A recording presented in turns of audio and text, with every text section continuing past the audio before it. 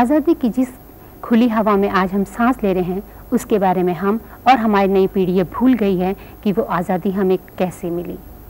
हम ये भी भूल गए कि आज़ादी के दौरान जिन लोगों ने कड़ा संघर्ष किया, वो कहाँ हैं और किस हालात में हैं। अपना देश 15 अगस्त सन उन्नीस को आज़ाद हुआ। और इस आज़ादी के लिए जो आंदोलन चला, कुछ तो ऐसे शहीद थे जिनके नाम हर ज़बान पर आज हैं, लेकिन कुछ ऐसे शहीद हैं अब भी, जिन्होंने योगदान दिया, जिनका नाम नहीं है। उनमें से कुछ आज हमारे पास भी हैं। हमारे साथ बुज़ुर्ग हैं श्री पी एन तेलंग साहब, जिन्होंने इस आंदोलन में शुरू में जबकि शिक्षक थे और बाद में बच्चों में छोटे छोटे बच्चों में ये फूंक दिया ये संदेश फूंक दिया कि देश को आपने आज़ाद करवाना है और देश आपकी सहयोग के लिए प्रतीक्षा में है। तरन साहब ये जो आज़ादी का जो अभियान था जी। संग्राम था जी। इसका थोड़ा सा विवरण देंगे जो आपके समय का है और आपका स्वयं का कितना उसमें योगदान था? महात्मा गांधी ने अपना सत्याग्रह संग्राम का बिगुल बजा करके देश में एक आज़ादी की लहर फैला दी थी। वो अफ्रीका से सत्य और अहिंसा के आधार पर सत्याग्रह संग्राम का बिगुल फूंक करके और उसमें सफल होकर के देश को लौटे थे। उन्होंने देशवासियों से कहा कि देखो हिंसा से हिंसा नहीं दबाई जा सकती है। हिंसा का प्रतिकार हिंसा ही होगा और विदेशी शासन है वो उसको बुरी तरह से कुचल देगा। इसलिए हमें इस समय पर देश में सत्य और अहिंसा के मार्ग के द्वारा अपना सत्याग्रह संग्राम छेड़ना है। उन्होंने बार बार सत्याग्रह संग्राम छेड़ने का जो मौका था, वो अपने हाथ में लिया, नेतृत्व किया। मैं उन दिनों में शिक्षक हो गया था और शिक्षक के रूप में जब 1942 में हम्म, 9 अगस्त को महात्मा गांधी और उनके जितने देश के नेता थे सब गिरफ़्तार कर लिए गए तो उस समय पर महात्मा गांधी ने देश के लिए एक नारा दिया करो या मरो अभी या फिर कभी नहीं। उस नारे को सुन करके देश की तरनाई में छोटे छोटे बच्चों में देश की जनता में बड़े बच्चे, बूढ़े, जवान, स्त्रियाँ, ये सब आज़ादी के जंग में कूद पड़े। और आज़ादी की जंग में कूद करके देश में जहाँ जहाँ जो था, वो उस आग को और ही अधिक तीव्रता के साथ सुलगाने में लग गया। मैंने भी कहा, नौकरी छोड़ दी थी। गांधी जी के आह्वान के ऊपर, स्कूल की शिक्षा से इस्तीफा दे दिया। उस समय पर मेरे भी छोटे छोटे बच्चे थे, पत्नी थी, कोई साधन नहीं था। परंतु देश में जो स्वाधीनता की आग, चिंगारी, जो तेज़ी के साथ फूट निकली थी, उस आग ने तुम्हारे कुटुंब का क्या होगा? बच्चों का क्या होगा? पत्नी का क्या होगा? इसकी कोई परवाह नहीं थी और हम भी सत्याग्रह संग्राम में कूद करके यहाँ वहाँ पर्ची बांटने लगे। लोगों को अपने पड़ोसियों को, दूसरे लोगों को इस आज़ादी की जंग में कूदने के लिए प्रोत्साहन देने लगे। उस समय पर कुछ महिलाएँ हाथ में चूड़ियाँ लेकर के और घर घर फिर रही थी। उनको बतला दिए गए और लोगों से कह रही थी कि यदि तुम औरत बनना है तो ये चूड़ियाँ पहन लो, वरना मर्दों की तरह इस आज़ादी की जंग में कूद पड़ो। उसका परिणाम ये अच्छा हुआ कि लोग बिना कोई सोचे समझे इस आज़ादी के जंग में कूद पड़े, जेलें भर दी गई। यहाँ से वहाँ तक हमारे सागरी जेल में, मैं सागर में था उस समय पर, जेलों में रहने को जगह तक नहीं थी। और उस समय पर हम लोग, कितने कितने लोग, मैं उन्नीस सौ सैतालीस, उन्नीस सौ बयालीस की 12 अगस्त को जेल खाने में भेज दिया गया था। उस समय पर जेल खाने में हम लोगों ने देखा कि सत्याग्रह संग्राम में, ये देश में आज़ादी की जो आग थी वह केवल शहरों तक सीमित नहीं थी, देहातों में पूरी तरह से फैल गई थी। और छोटे छोटे लड़के जंगल सत्याग्रह करके, छोटी कुल्हाड़ियाँ लेकर के, जंगल काट करके, वहाँ पर जेल की यात्रा कर रहे थे। तो हम लोग जब आपस में बातें कर रहे थे, इतने में एक लड़का आया, छोटा। नौ दस साल की उम्र होगी उसकी। अपना बगल में बस्ता दबाए हुए था, गामा की पुस्तक लिए हुए था, वो आया। हम लोगों ने कौतूहल बस उसकी अवस्था देख करके पूछा, क्यों बेटा? तुम अपने माँ बाप को छोड़ आए हो, छोटे हो अभी। तुम माफ़ी मांग कर तो नहीं चले जाओगे अरे, वो कहते का कह रहे हैं दादा हमारी बहू ने कह दी है कि, बेटा, जेल में मर जाइयो, पर कभी माफ़ी मांग के मत आना। और उसने किस तरह से अपने बच्चों में ट्रेनिंग दी है।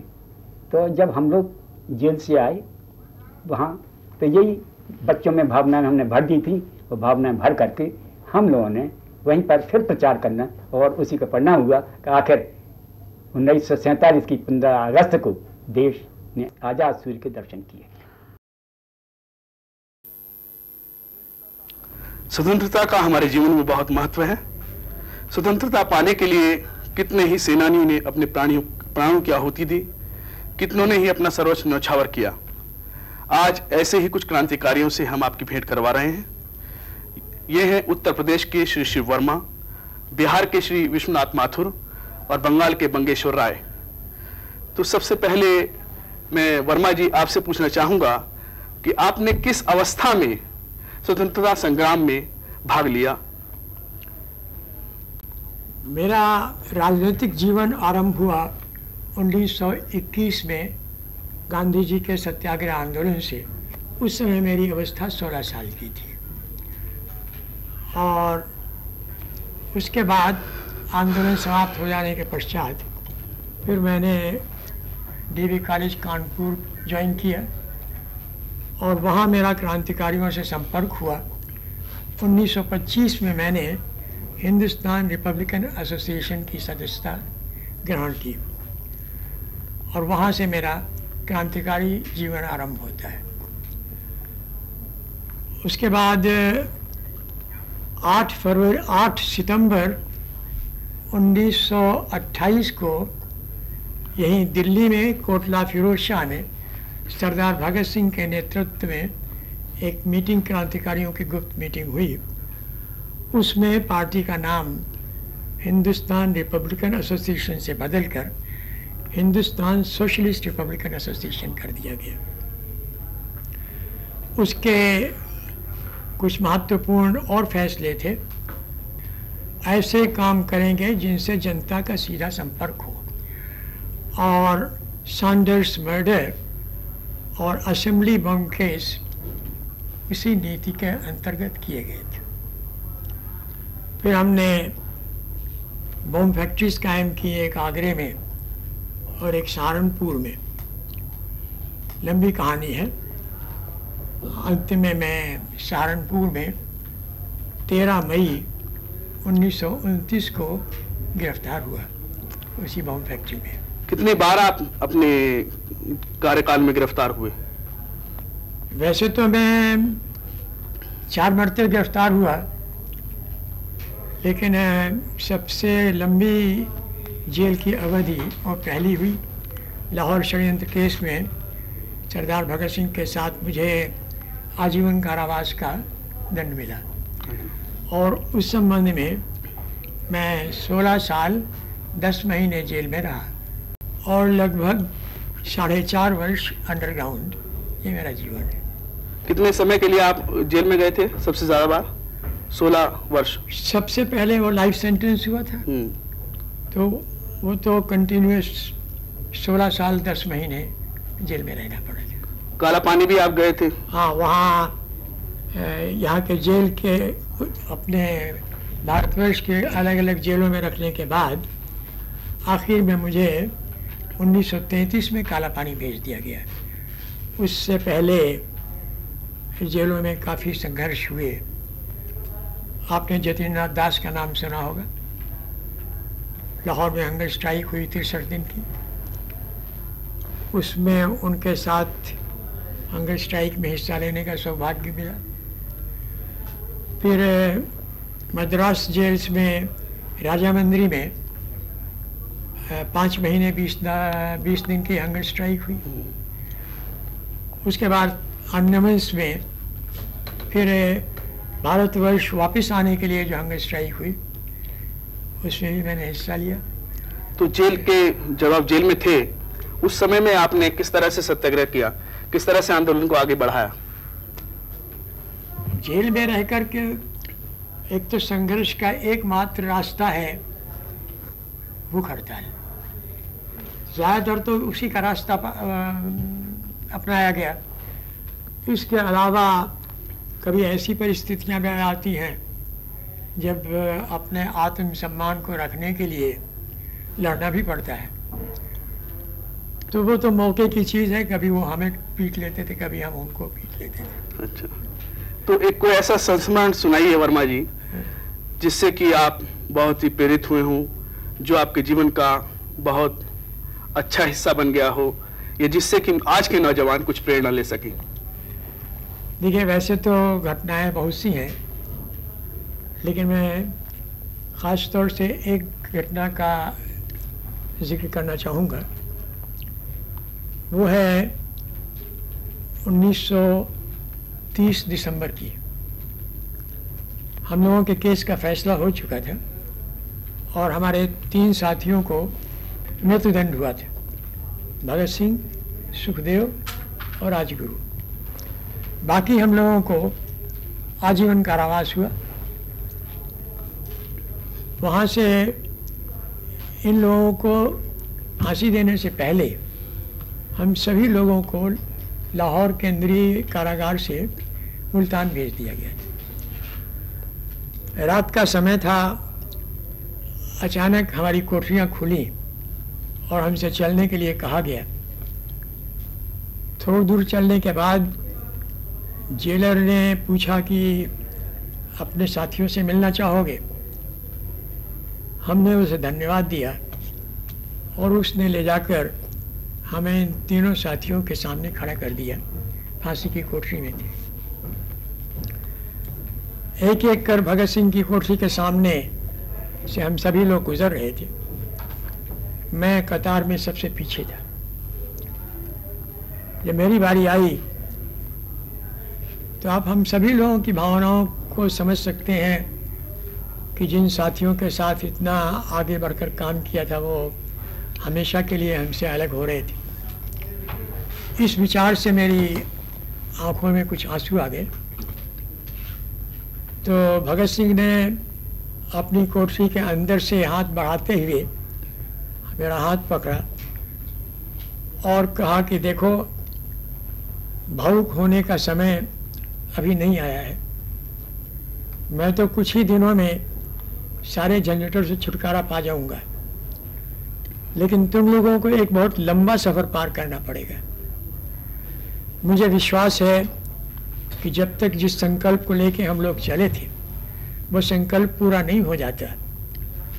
तब तक तुम थकोगे नहीं, पस्त नहीं होगे, रास्ते में थक कर बैठ नहीं जाओगे, और अंतिम श्वास तक अपने आदर्श के लिए संघर्ष करते रहोगे कि मेरे राजनीतिक जीवन के करीब चौंसठ साल पूरे हो रहे इस चौंसठ साल में कभी थक कर बैठ जाने का जी न चाहा हो ये कहना एक गलत होगा।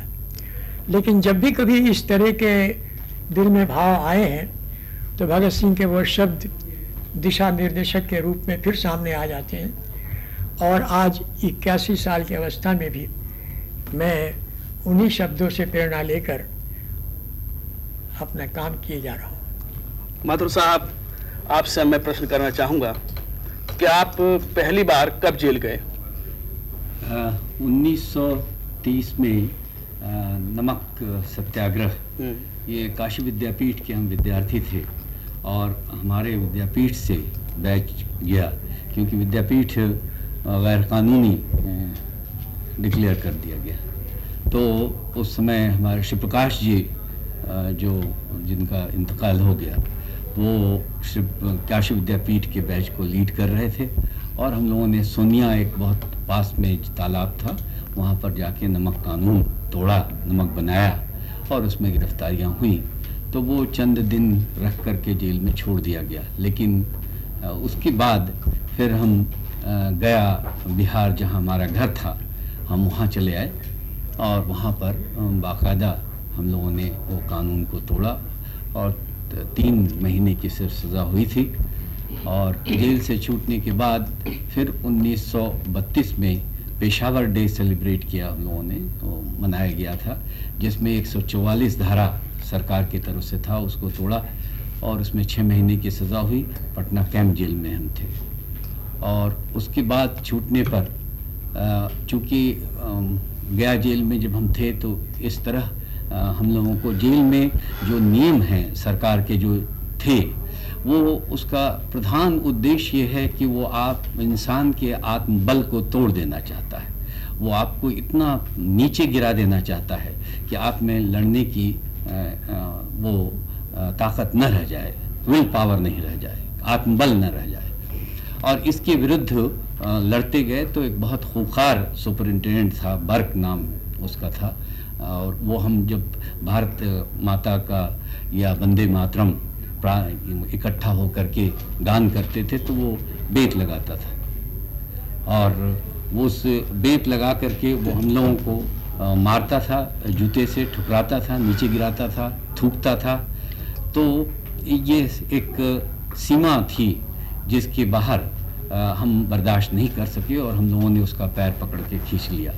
तो ये प्रश्न हमारे सामने उठने लगा उस समय कि इस तरह से ये आ, क्या संभव है कि हम लोग स्वराज ले सकेंगे इनके खिलाफ? तो बाहर आकर के हम लोग निश्चय किया कि इसको मारना चाहिए। और उसके खिलाफ हम लोगों ने उसके पत्र भेजा उसमें गोली भेजी और धमकी दी। लेकिन वो संयोग ऐसा था कि वो उसने सुसाइड कर ली जो कि पुलिस ने उसको हमारे ऊपर मुकदमा बना करके गया षडयंत्र केस चलाया ये। तो ये जेल जाते ही रहे, करीब चार, पाँच बार हम जेल गए। तो गया षडयंत्र केस में हमें साढ़े सात वर्ष की सज़ा हुई उन्नीस में और 1934 में हज़ारीबाग जेल से हमें काला पानी भेजा गया। तो एक लंबी कहानी है इसकी तो इस दौरान हाँ। इस जेल यात्रा के दौरान या स्वतंत्रता संग्राम का अभियान जो आपने छेड़ा उसके दौरान आपको और क्या क्या यातनाएँ हुई हम लोगों को एक जेल में सज़ा है कहलाती है पैनल डाइट वो लस्सी बना करके देते हैं चार दिन तक अच्छा। जिसमें नमक नहीं आटा को घोल देते हैं कच्चे आटे में नमक घोल के और वो देते हैं खाना बंद कर देते हैं। या गया सेल में उन्होंने धूप में हथकड़ी लगा करके दीवार में और खड़ा कर दिया और दीवार में खड़े रहे। मारपीट जेल का आना डंडा से मारा जाना और काल कोठरी में बंद कर देना बराबर के लिए कई साथी उसमें पागल हो जाते थे। ऐसी अवस्थाएँ गुजरे। लेकिन जब हम काला पानी आए तो एक नई ज़िंदगी इसके पहले हमारे साथी वहाँ भूख हड़ताल कर चुके थे, लंबी भूख हड़ताल, चौंसठ दिन का, काले पानी में। और उसमें तीन हमारे साथी शहीद हो चुके थे। तो उनकी शहादत का ये नतीजा हुआ और हमारे सभी साथियों की विजय हुई। उससे सरकार नीचे उतरी और उन्होंने मांगे पूरी की जो राजनीतिक बंदी थे सल्लर जेल के अंदर में। और उसमें सबसे बड़ी सुविधा ये मिली कि जो हम लोग सल्लर जेल जो है वो सिर्फ़ एक एक काल कोठरी है सात सौ। तो उनको आपस में मिलने की सुविधा हो गई। और जब मिलने की सुविधा हो गई किताबें आने लगी किताबें हमें मिली पढ़ने की सुविधा हो गई तो काला पानी का सेलुलर जेल एक क्रांतिकारी यूनिवर्सिटी में परिणित हो गया। और ये एक बहुत आ, महान परिवर्तन था सिर्फ़ जेल के इतिहास में नहीं बल्कि उसका पीछे भारत की राजनीति पर भी उसका प्रभाव पड़ा। उसमें मुख्य चीज़ ये थी कि जो रास्ता हम लोग अपनाए हुए थे, वो रास्ता ये था कि जो जुल्म करने वाले सरकारी अफसर अंग्रेज़ थे बड़े बड़े उहदों पर, उनको हम बम से या रिवॉल्वर से मार करके और सोचते थे कि स्वराज इसके द्वारा हम नौजवानों को जागृत करके, देश को, के ध्यान को अपनी ओर आकर्षित करके हम स्वराज ले लेंगे।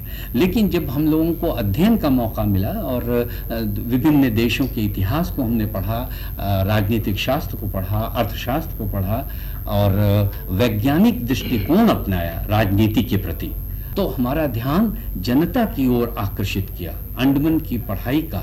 सोलर जेल की उस राजनीतिक यूनिवर्सिटी का सबसे बड़ा प्रभाव हुआ कि हमारा ध्यान किसानों की तरफ़ जिसकी बड़ी बहुमत है हमारे उनकी तरफ़ ध्यान गया। उन हाँ मजदूरों की तरफ़ सर्वहारा की तरफ़ शोषित जनता मध्यम वर्ग की तरफ़ शिक्षित प्रोफेसर डॉक्टर्स वगैरह सब की तरफ़ ताकि इनको हम बताएँ कि गुलामी कितनी खराब चीज़ है मानवता के लिए और आज़ादी किस तरह एक मानव का जन्म सिद्ध अधिकार है। ये तो आपने बहुत अच्छी बात बोला माथुर साहब।